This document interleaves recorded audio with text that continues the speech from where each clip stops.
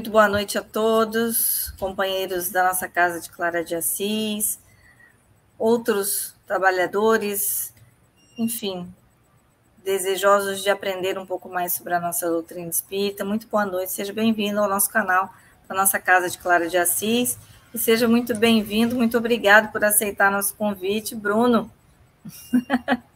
Obrigado, Juliana. Obrigado aos companheiros do Clara de Assis Espero poder contribuir com os benfeitores espirituais, com os trabalhos da casa e com um pouquinho com a energia do internauta que nos assiste. É isso aí. Bem, hoje é, temos uma, um tema fundamental né, para o nosso vigiar e orar, eu acredito. Estou é, esperançosa para estudar com você, Bruno e cujo título é Ajudemos a Vida Mental. Então, vamos fazer uma leitura preparatória é, do livro Fonte Viva, por Emmanuel, que vai justamente nos convidar a refletir sobre essa ajuda à vida mental. Então, para nos prepararmos, vamos à nossa leitura. Segundo Mateus, no capítulo 4, versículo 25, e seguia-o uma grande multidão da Galiléia, de Decápolis, de Jerusalém, da Judéia e de além do Jordão. Está em Mateus 4, 25. A multidão continua seguindo Jesus na ânsia de encontrá-lo, mobilizando todos os recursos ao seu alcance. Procede de todos os lugares, sequiosa de conforto e revelação Inútil a interferência de quantos se interpõem entre ela e o Senhor, porque de século a século a busca e a esperança se intensificam. Não nos esqueçamos, pois, de que abençoada será sempre toda colaboração que pudermos prestar ao povo em nossa condição de aprendizes. Ninguém precisa ser estadista ou administrador para ajudá-lo a engrandecer-se. Boa vontade e cooperação representam as duas colunas mestras no edifício da fraternidade humana. E contribuir para que a coletividade aprenda a pensar na extensão do bem é colaborar para que se efetive a sintonia da mente terrestre com a mente divina. Descerra-se à nossa frente precioso programa nesse particular alfabetização, leitura edificante, palestra educativa. Exemplo contagiante na prática da bondade simples. Divulgação de páginas consoladoras e instrutivas. Exercício da meditação. Seja a nossa tarefa primordial o despertamento dos valores íntimos e pessoais. Auxiliemos o companheiro a produzir quanto possa dar de melhor ao progresso comum no plano no ideal e na atividade em que se encontra. Orientar o pensamento, esclarecê-lo e sublimá-lo é garantir a redenção do mundo, descortinando novos e ricos horizontes para nós mesmos.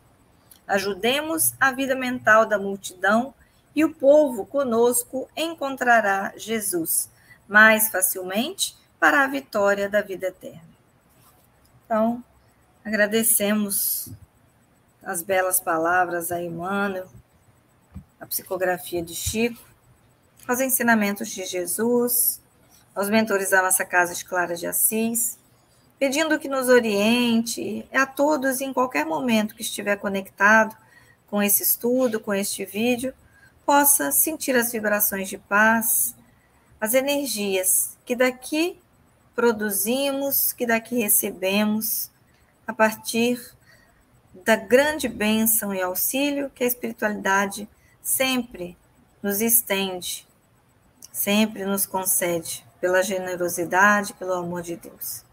Jesus, então, nos ampare, ampare ao Bruno neste estudo de hoje, que possamos sair daqui com a clareza de ajudarmos cada vez mais. Jesus, então, nos abençoe. Bruno, é, mais uma vez, então, nós te agradecemos Vamos estudar juntos. Deixo você então para a gente se concentrar melhor. Daqui a pouco a gente retorna. Uma boa noite aos companheiros da casa que já estão aqui conectados. E vamos estudar então. Está com a palavra. Obrigado, Juliana. Espero poder colaborar, espero atender aos anseios das pessoas que estão nos assistindo. E esse tema, Ajudemos a Vida Mental, é, já tem alguns anos né, que eu venho fazendo ele nas casas espíritas. Ele é um tema que me chamou a atenção quando eu li essa lição que a Juliana acabou de ler. Eu li uma vez, duas vezes, e fiquei com uma certa dúvida em alguns parágrafos que Emmanuel estava dissertando.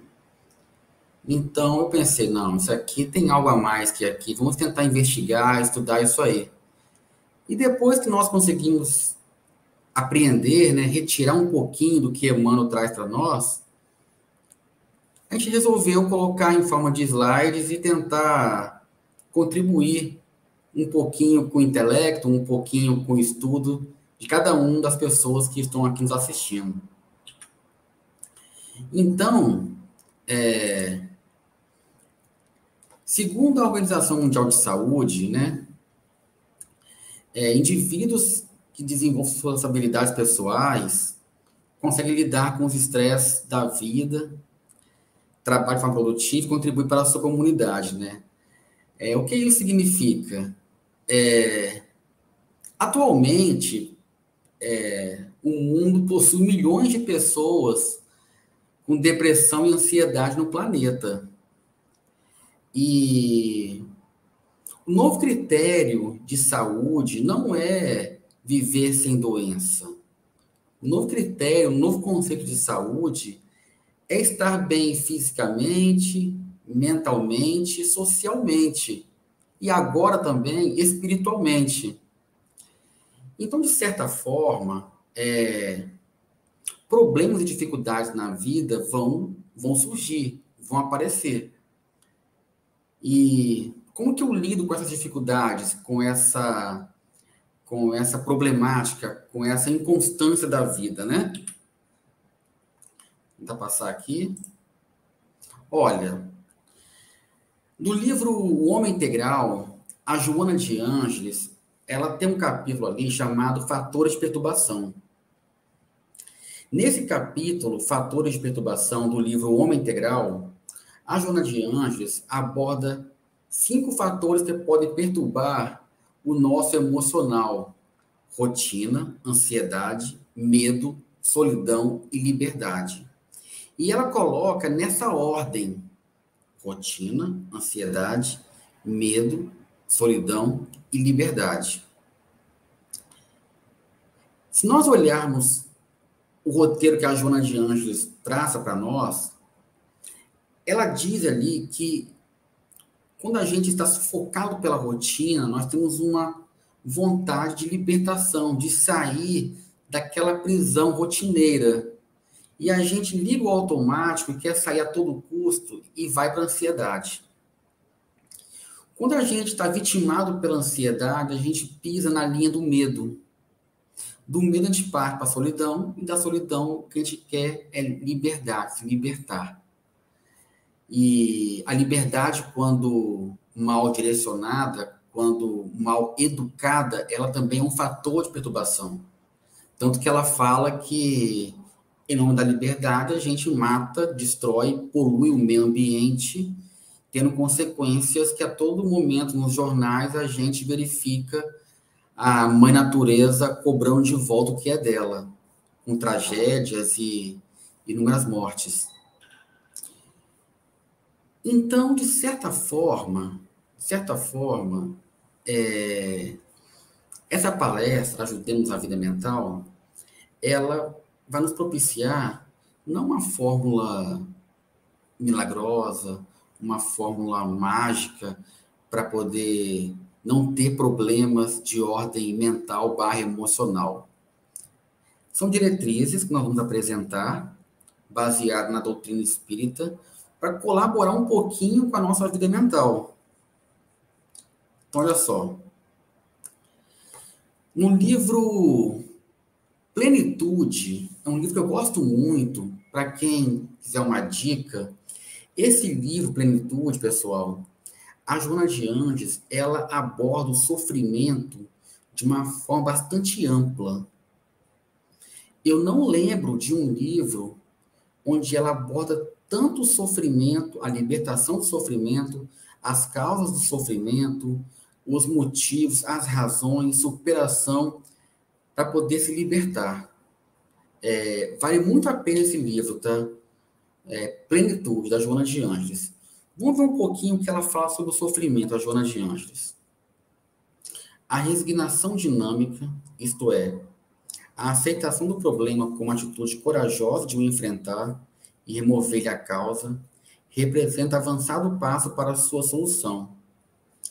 É de insuspeitável significação positiva o equilíbrio mental e moral diante do sofrimento, o que consegue por meio do treinamento, pela meditação, pela oração, que deflui do conhecimento que ilumina a consciência, orientando-o corretamente. Repara que ela começa que a aceitação do problema com uma atitude corajosa de o enfrentar e remover a causa representa avançado passo para a sua solução. Então vamos supor que a minha vida mental esteja de forma desequilibrada. Eu esteja passando por um sofrimento. Qual que é o primeiro caminho para a gente vencer um, qualquer problema na vida? Enfrentando. Não existe outro caminho que é o primeiro para começar a libertação de um problema, a solução é enfrentar. Olha, eu estou com dor no braço.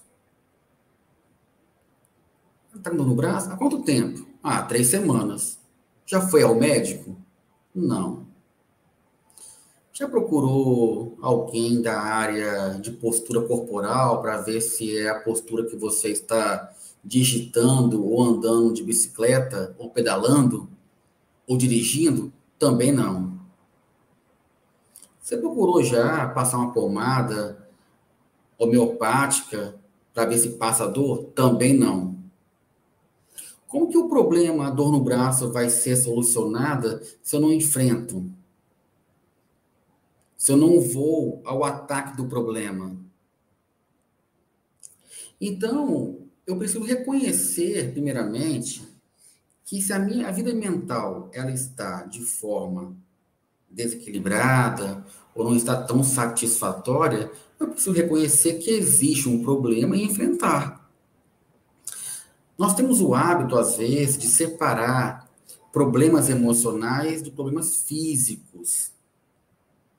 Salvo as diferenças do mundo acadêmico, e das circunstâncias particulares de cada problema, a gente sempre acha que o problema emocional, sentimental, mental, ele começou de repente. Olha, machuquei aqui a minha pele. Tem só um corte. A pessoa não deu atenção, não cicatrizou direito, passou um tempo, entrou uma sujeira ali, inflamou, virou uma infecção, quando vai ver a pessoa está no pronto-socorro tendo que tomar um, algum remédio. Não foi de repente. Tinha um corte ali. Foi mostrado que tinha um problema. Ah, agora eu era uma pessoa tão equilibrada, de repente eu fiquei com esses transtornos emocionais. Como assim de repente?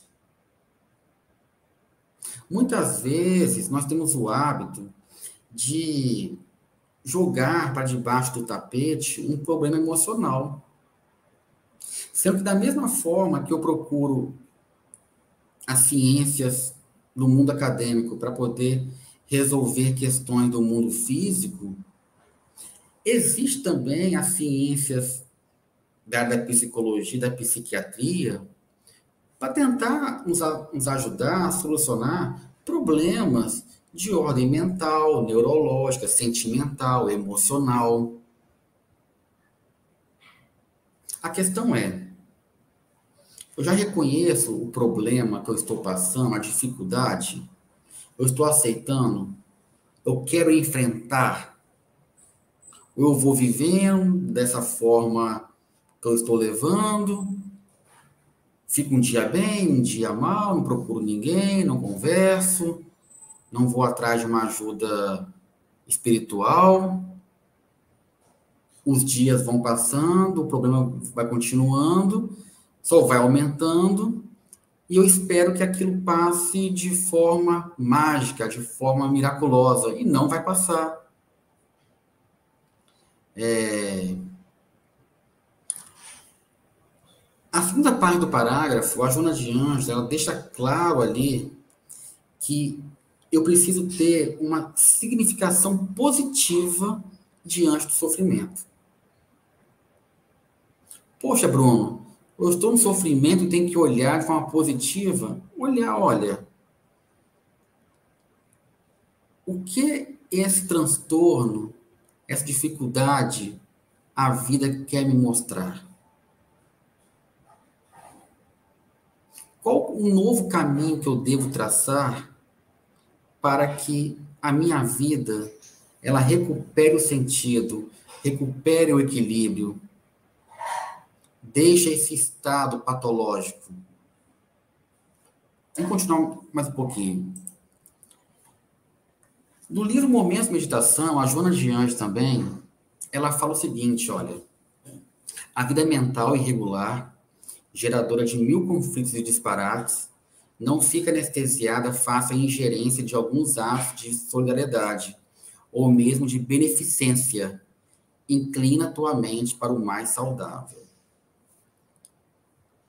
é, é tão difícil, é, é tão trabalhoso, não é difícil, é tão trabalhoso regular, equilibrar a vida mental, que nós devemos ter um cuidado no meio espírita, no meio religioso, de forma geral, de acreditar que por nós estarmos no trabalho cristão, seja na direção da casa espírita, na palestra pública, na reunião mediúnica, na assistência social, na, na direção online, no atendimento fraterno, eu estou imune, eu estou protegido de uma dificuldade mental. Não funciona assim. É, o que a Joana Anjos quer mostrar aqui, olha, Olha, ok que você faz alguns atos de solidariedade, você faz alguns atos de beneficência, mas não significa que você está anestesiado, você está imune a uma vida mental irregular. Porque a vida mental é provável que talvez seja o último passo do equilíbrio. Olha, antes uma pessoa no trânsito se alguém agredia ela no trânsito, ela pegava o automóvel dela e agredia também. Buzinava alto, jogava o carro para cima de alguém. Existe isso? Existe. Aí, aos poucos, ela vai se educando.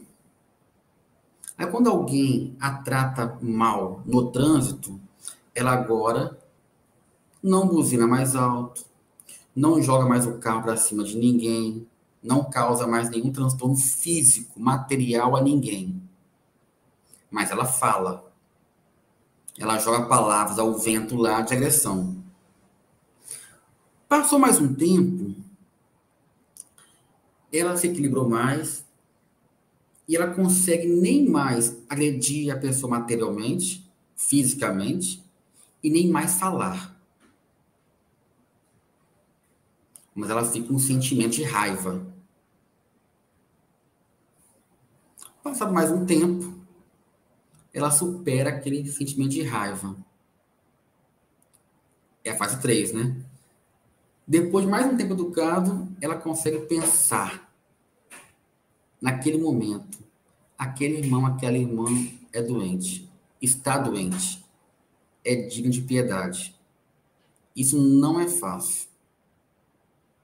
Não é fácil porque Nós estamos aqui fazendo um ato cristão, uma reunião cristã, e eu posso sair aqui do meu apartamento e ali comprar um lanche e de repente uma pessoa desajustada, não está num bom momento, passa uma poça de água de propósito para me molhar.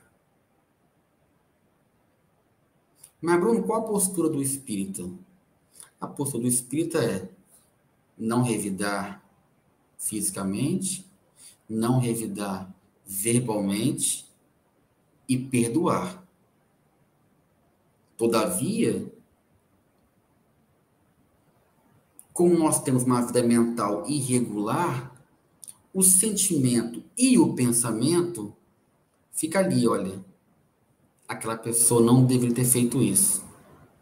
E começa a pensar mil e uma coisas boas daquela pessoa que passou uma poça de água e nos molhou. Não é fácil, gente. Não é. Mas nós temos mecanismos para vencer isso, para superar. Porque uma coisa é eu ter um, um momento de raiva, usar o pensamento cristão espírita e superar.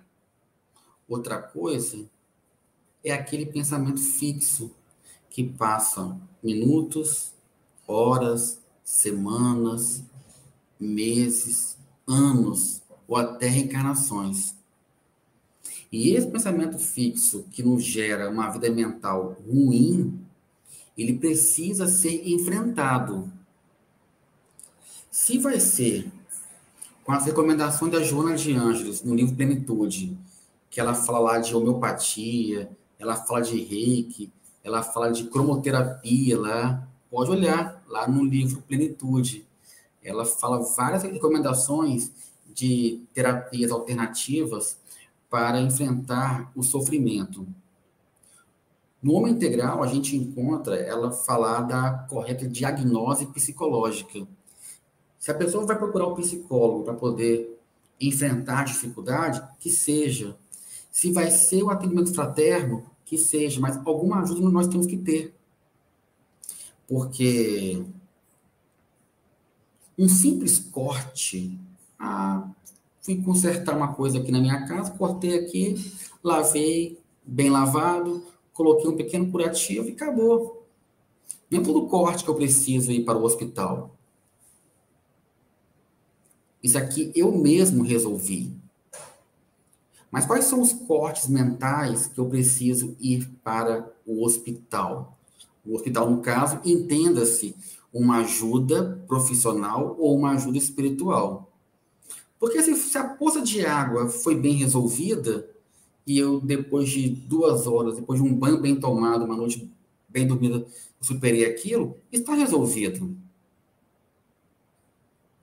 Mas existem poças de água que precisam de ajuda para poder remover. Então, a gente está, por enquanto, conceituando, né? É, pela Joana de Ângeles, a, a vida mental irregular, que é uma coisa inerente a todo ser humano.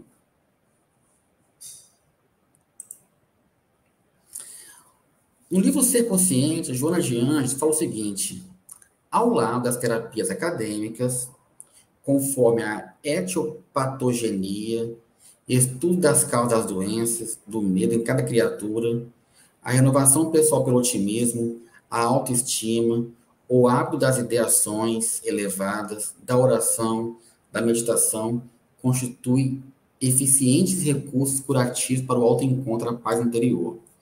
Aqui eu quero frisar o seguinte: a Joana deixa claro, ao lado das terapias acadêmicas. Nós precisamos, precisamos é,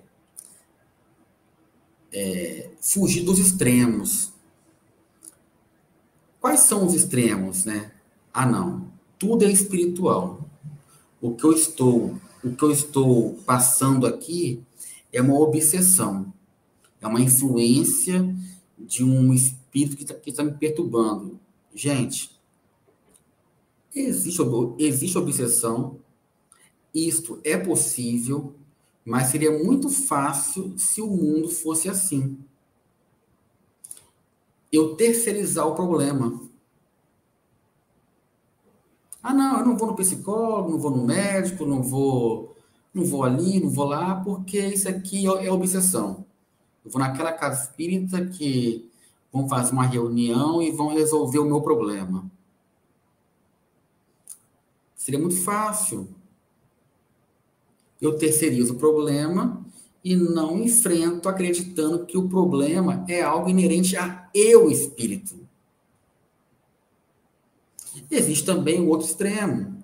Pessoas muito do meio acadêmico, des, é, desprovidas de uma, de uma religiosidade consciente, de uma fé raciocinada, que acredita que tudo é material, tudo se resolve com terapias acadêmicas do mundo científico.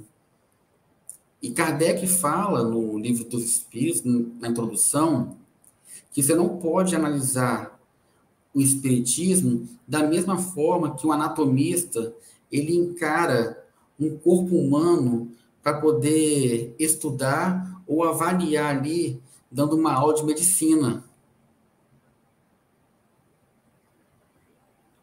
Então, qual é o caminho que eu posso encontrar para batalhar para uma vida mental mais saudável. Terapias acadêmicas e otimismo, ideias elevadas, oração, meditação. Nós precisamos equilibrar isso aí. Então vamos lá, continuar aqui. No livro Autodescobrimento, Jonas de Ângeles fala o seguinte: o homem é o que acalenta no íntimo. Sua vida mental se expressa na organização emocional e física, dando surgimento aos estados de equilíbrio, como de desarmonia pelas quais se movimenta. O homem é o que acalenta no íntimo. Sua vida mental se expressa na organização emocional e física. Hoje está mais que comprovado que, de acordo com a nossa vida mental, existem repercussões na nossa, na, na nossa, no nosso envoltório corporal, né? Na nossa parte orgânica, né? Então, como eu falei anteriormente, se existe uma influência espiritual ela foi potencializada devido à minha dificuldade íntima que sintonia com essas com esses irmãos nossos que estão também em desequilíbrio, que chegam até nós para nos desequilibrar por falta de conceito, por falta de entendimento do bem. Alguns outros não. Alguns outros têm mesmo a intenção de fazer mal e tem um interesse, é uma, uma atitude é, obsessiva, direcionada e, e com bastante, bastante critério né, de, de ataque. Essa questão 459, ela, ela é muito falada no meio espírita. Porém, as pessoas colocam um ponto final nela, que eu já falei que tem um problema, que eu quero repetir que esse ponto final, se não for bem trabalhado, ele faz mal. Porque é o seguinte, o companheiro, a companheira, no estudo, no ES, na palestra, fala assim, ó, influi os espíritos nossos pensamentos, nossos atos? Kardec perguntou. Aí os benfeitores espirituais, na época lá que Kardec estava codificando a obra, responderam: muito mais do que imaginais. Influi a tal ponto que, de ordinário, são eles que vos dirigem. Se a pessoa coloca um ponto final, sem explicação, nessa resposta, ué, e meu livre-arbítrio? que são eles que nos dirigem, Então, o que eu estou fazendo de errado, em geral, é culpa, é responsabilidade, é ocasionado por esses espíritos que estão me dirigindo. Só que um dos princípios básicos do espiritismo se chama livre-arbítrio. Nós temos livre-arbítrio. Para poder dizer sim, dizer não.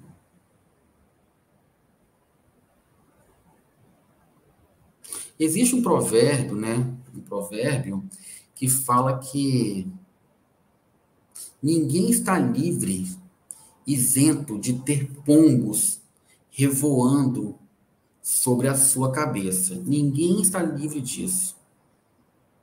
De ter pombos revoando sobre a sua cabeça. Mas permitir que os pombos pousem na cabeça e façam ninhos tem uma distância muito grande. Os pombos podem estar revoando numa praça pública, numa rua, num campo aberto. Ninguém está livre disso. Como que eu vou impedir isso? Mas se o pombo vier pousar na nossa cabeça, eu consigo tirar ele, não vou deixar ele fazer ninho e nem almoçar ou jantar na minha cabeça, se alimentar.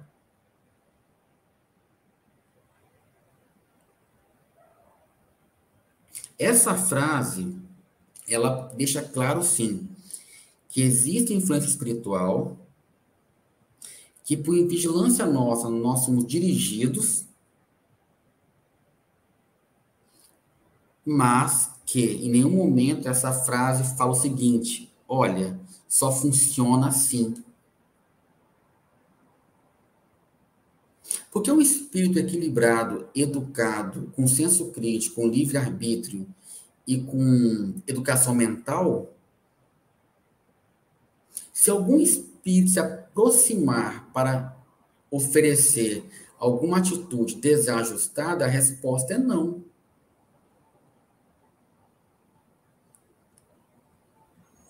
É um não tão forte ou é um não tão vibratório que esses espíritos não conseguem se, não conseguem se aproximar. Então, quando a gente passa pela ajuda vida, ajudar a vida mental, quando você quer retirar de nós a, o tratamento espiritual para poder poder é, não trabalhar com com a ideia de que existem espíritos, não. Não quero retirar isso. Em nenhum momento. Se está fazendo um, uma atitude, um tratamento espiritual, uma, uma, uma meditação, que continue. Continue. Vai fazer bem. O que eu quero deixar claro é não acreditar que o fato de eu ir fazer um, uma atitude, um tratamento espiritual em alguma casa espírita, onde quer que seja, sem reforma íntima, sem autoconhecimento, ou ao lado das terapias acadêmicas, vai resolver o problema. A gente precisa encontrar ali onde está o ponto-chave das nossas probabilidades de êxito. A Joana de Anjos fala sobre isso no livro Momento de Meditação. Avalie as probabilidades de êxito. Olha, eu tenho muita segurança no psicólogo e no atendimento fraterno. É lá que eu me encontro. Não, eu tenho muita segurança na minha tia, que é espírita há 50 anos, uma pessoa de, uma pessoa de bom senso, e na meditação. É lá que eu posso me encontrar. Ah, chegou um ponto que as minhas dores emocionais barra mentais estão fortes.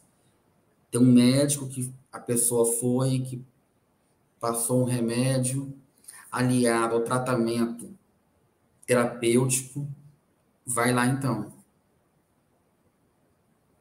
eu preciso combinar esses fatores de sucesso para tentar potencializar em mim uma vida mental mais equilibrada.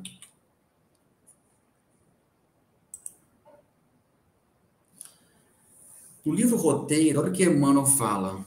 Estamos assimilando correntes mentais de maneira permanente, de modo imperceptível, e ingerimos pensamentos a cada instante, projetando em torno de nossa individualidade as forças que acalentam em nós mesmos.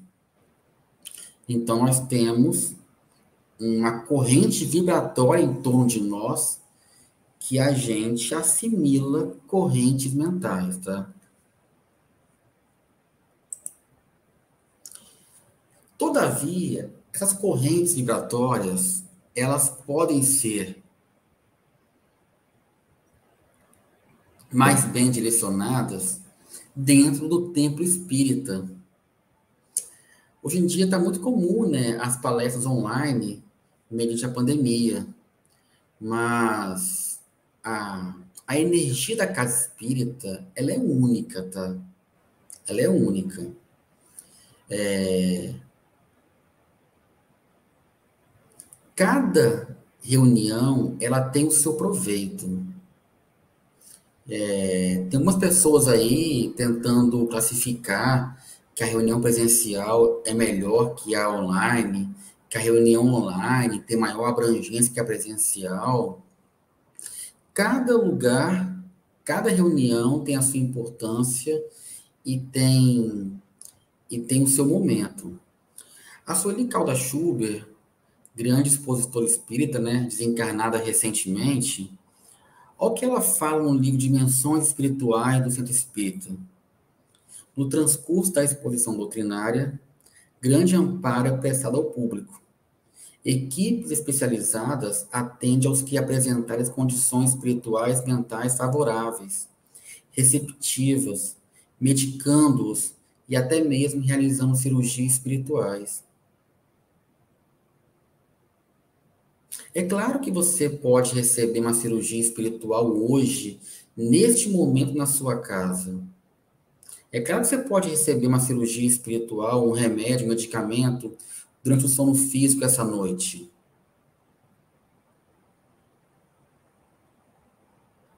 Mas a partir do pressuposto que a casa espírita é um hospital, no mundo material, onde nós temos mais recurso médico? Dentro de casa ou no hospital? No hospital. Tem UTI, tem ambulatório, tem anestesia, tem médico, tem enfermeiro, tem um monte de coisa lá tem ressonância, tem, tem tomografia.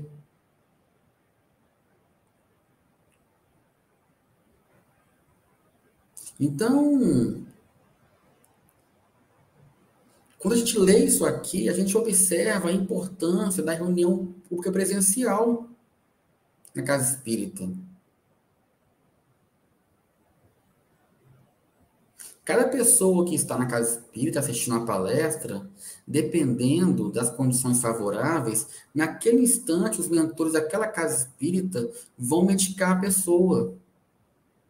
Não dá para trazer aqui todo o livro que a Sueli Calda Schubert fala, mas muitas vezes os benfeitores medicam as pessoas nas regiões do corpo físico que elas nem sabem que talvez teriam um problema.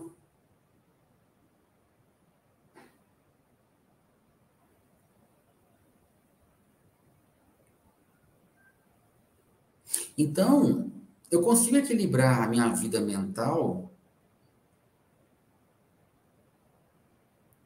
acreditando que existem benfeitores espirituais que vêm até mim oferecendo auxílio, oferecendo ajuda. Porque senão eu fico só com aquele pensamento da questão 459, que os espíritos influenciam nossa vida e que o que de ruim está acontecendo é influência espiritual. Nós temos que parar com isso. Nós precisamos muitas vezes tirar um pouco essa esse medo, essa esse algo tenebroso do, do meio espírita voltado para influências espirituais. Porque eu não posso ter esse olhar. Porque eu não posso ter o olhar das questões que vai da 490 a 495 do anjo de guarda.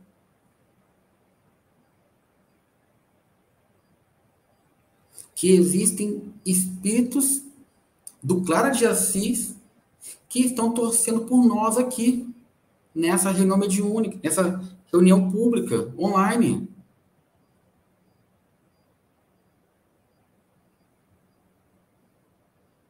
Estão só aguardando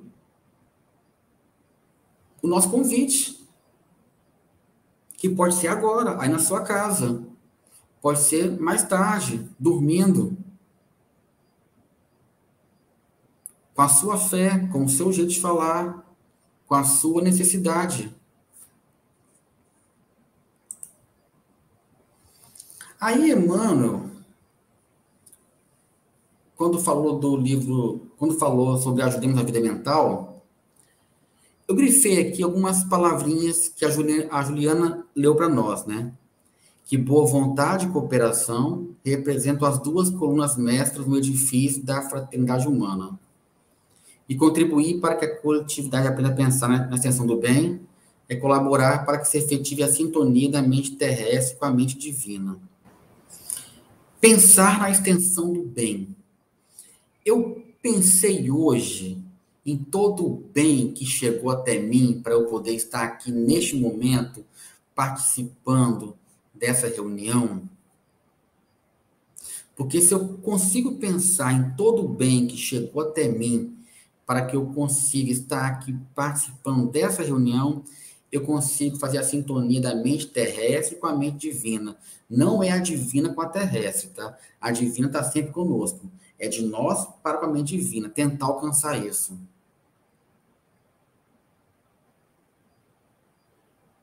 Quem foram as pessoas que fizeram a minha comida?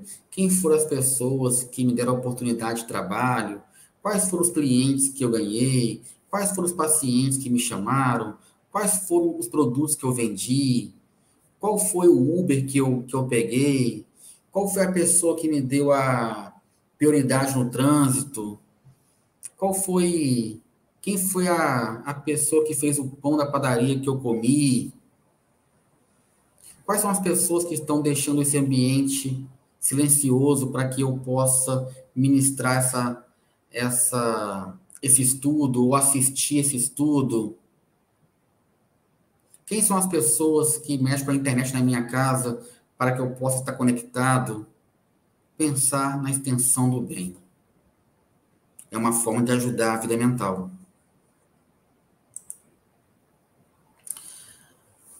Olha que, olha que tem no livro dos Espíritos, sobre o anjo de guarda. Não receei fatigar-nos com as vossas perguntas. Ao contrário, procurai estar sempre em relação conosco. Sereis assim mais fortes e mais felizes. Todos nós temos um anjo de guarda. Ah, Bruno, eu, eu sempre oro para Jesus. Continua. Eu sempre oro para Maria. Continua. Eu sempre oro para os benfeitores do Clara de Assis. Continua. Mas quantas vezes você ora para o seu anjo de guarda? Ah, quase nunca. Então, tem que mudar isso aí.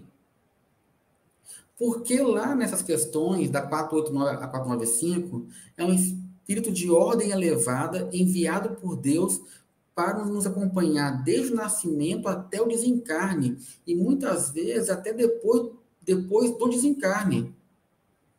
E tudo que o anjo guarda quer é isso aqui, olha, não receei fatigarmos com as vossas perguntas. Chega hoje à noite para o anjo guarda e fala: Olha, o que eu devo fazer com esse problema? Me ajude. Me dá uma intuição. Ah, o meu filho está tá me dando um problema, está com dificuldade. Pergunte seu anjo guarda. Ah, está com ansiedade, depressão, pânico. Pergunta o seu anjo de guarda. Ele vai te mostrar os caminhos.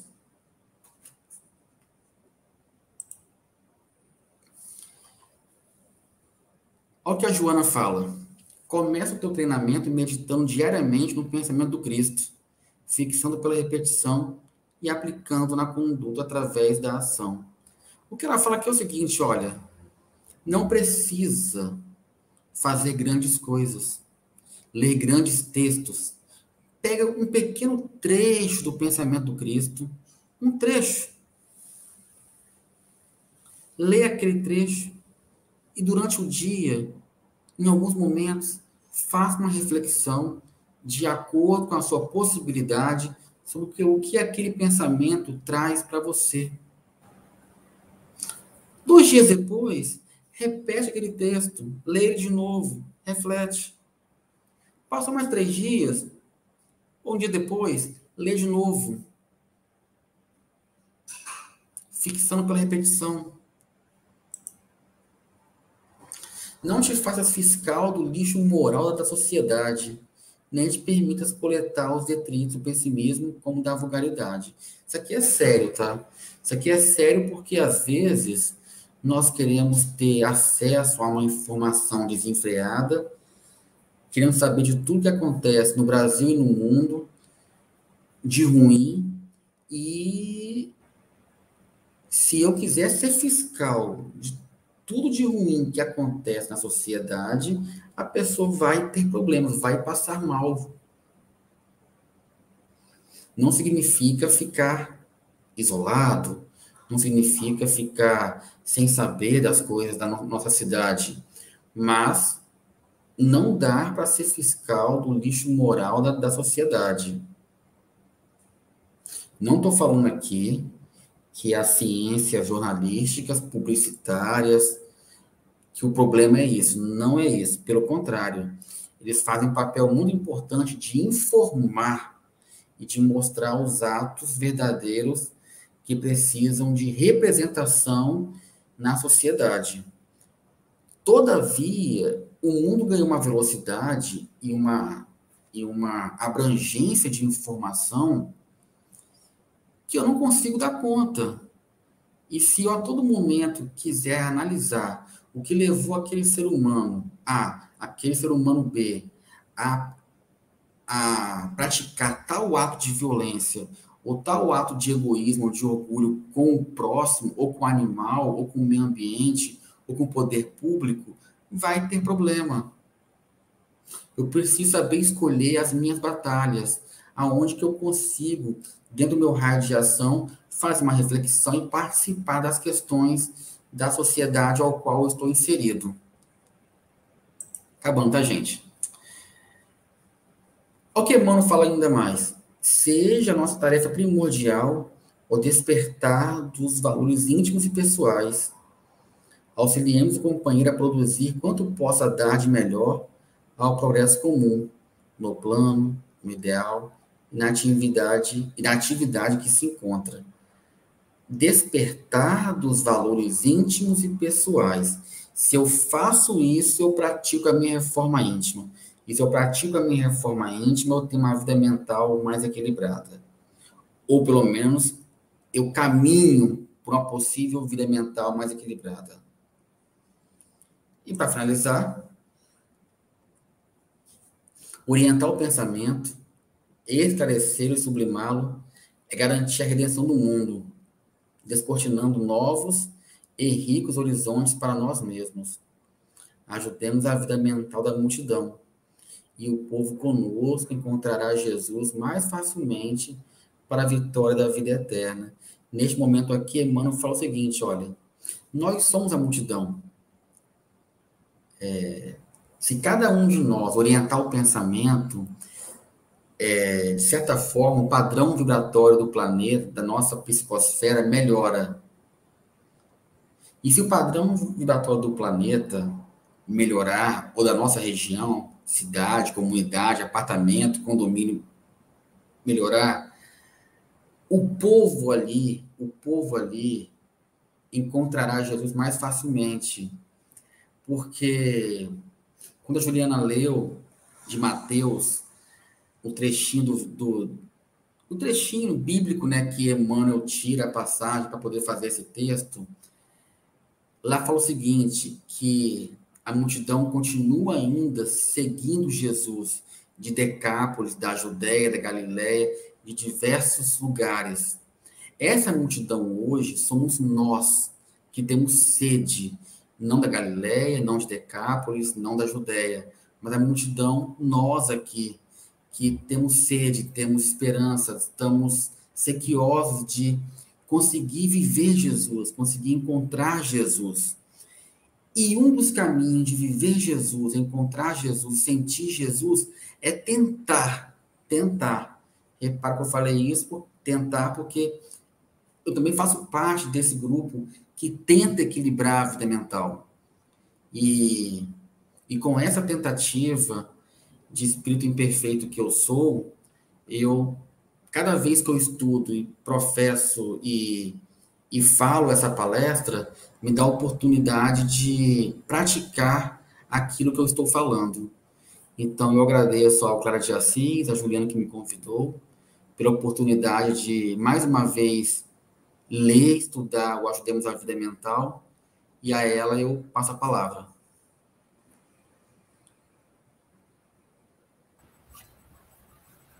Perfeito, Bruno. Nós que agradecemos. É, é, tão verdadeiro isso que você fala, falou agora, enfim, de tudo, né? De todas essas palavras, mas como essa oportunidade da gente estudar, isso é, é uma oportunidade primeiro para nós, né? Quando nós fazemos, conduzimos o estudo, né? A, a palestra. É, é sempre uma, um presente à nossa reforma íntima. Então, que bom. Agradecemos o trabalho, agradecemos você, essa presença, a todos os companheiros que já estiveram e estão aqui ainda conosco. E para finalizar, Bruno, é, já que né, você já foi um dos beneficiados de poder estudar de novo a ajuda mental, né? Você podia nos conduzir para essa outra ajuda mental, que é a oração, que é a prece, por favor? Deus de infinita bondade e justiça, Jesus, Mestre Divino, benfeitores espirituais do Centro Espírita Clara de Assis, gratidão. Gratidão por este momento, gratidão pela oportunidade de trabalhar mais uma vez o tema Ajudemos a Vida Mental. Gratidão pelo acesso às terapias acadêmicas do mundo científico, que por meio dos médicos, psicólogos, enfermeiros, tanto trazem para nós os benefícios. Gratidão também pelo acesso ao conhecimento espírita, que por meio da reforma íntima e da nossa transformação moral, somos capazes de ter uma vida um pouco mais fraterna, um pouco mais leve, sem tantas angústias. Benfeitores espirituais do Centro Espírita Clara de Assis. Sabemos que a distância para vocês não existe. Sabemos que estamos ligados por uma corrente fluídica do amor do Cristo. O amor que perdoa, que não é violento, o amor que acalma, o amor que levanta a todos aqueles que de alguma forma estão passando por angústias mentais, por fatores de perturbação. Mestre amado, que a partir de agora os trabalhos do Centro Espírita de Assis continuem com o comando da espiritualidade. E nós aqui encerraremos a nossa jornada. Que assim seja.